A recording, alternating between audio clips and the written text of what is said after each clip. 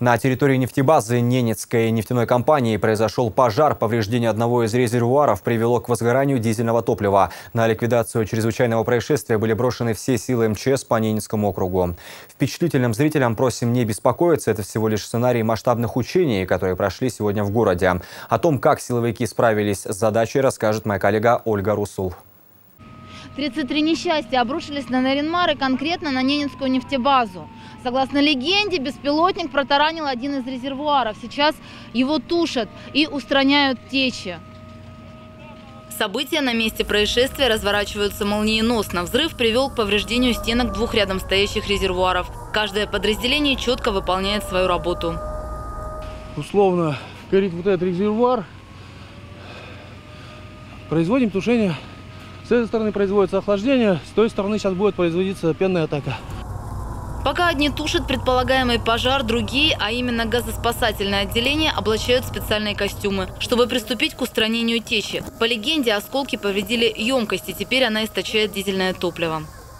То есть там открытая течь осколками пробила ее. Открытая течь, они сейчас приходят на место, ликвидируют течь и докладывают, что ликвидация. То есть бомба уже взорвалась, правильно? Да, она взорвалась, горит, горит средний вот эта емкость средняя горит, а вот эта емкость с осколками ее раздробила, и она как бы течь дала. Эти оранжевые костюмы обеспечивают безопасную работу спасателей под обливом химическими веществами. Защищают от агрессивной жидкости и паров. Тем временем начинается пенная атака. А это специальная пена. Ее используют исключительно для тушения нефтегазовых продуктов. Установка «Пурга-60» выдает воздушно-механическую пену. Расход 60 литров раствора в секунду покрывает площадь в 1200 квадратных метров. Ее применяют тогда, когда обычной водой с пожаром не справятся. Ну вот для тушения нефтебаз, горючих веществ разных классов горения, которые... А есть какие-то сложности вот в работе с э, такими агрегатами, которые тушат? Да вроде нет. Видите, простое, простое в обращении. И это еще не все неприятности. На реке близ нефтебазы обнаруживается пятно около 800 квадратных метров. Дизельное топливо распространяется по течению Печоры. Поэтому параллельно с тушением пожара спасатели проводят работы по его локализации и ликвидации. Это одни из самых масштабных учений за последнее время. Любой вообще крупный пожар, а в частности вот в резервуаре, он связан с определенными организационными сложностями.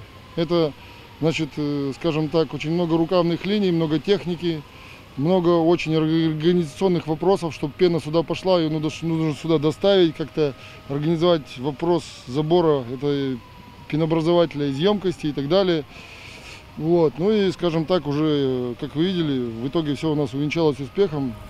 На ликвидацию пожара и его последствия была брошена вся резервная техника. Это порядка 14 единиц и более 80 человек личного состава. Весь Наринмарский пожарно-спасательный гарнизон, пожарная часть с постом, Ненецкий комплексный аварийно-спасательный центр, окружная служба спасения. Кроме того, безопасность во время учения обеспечивали сотрудники ОМВД и Росгвардии.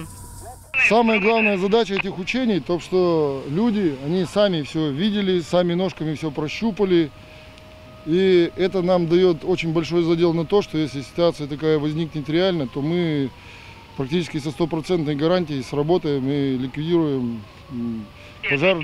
Даже можем надеяться, что в начальной стадии. Ситуация под контролем. Разбор полетов прямо на месте. Справились быстро и практически без ошибок. Город может жить спокойно. Ольга Русул, Леонид Шишелов, телеканал «Север».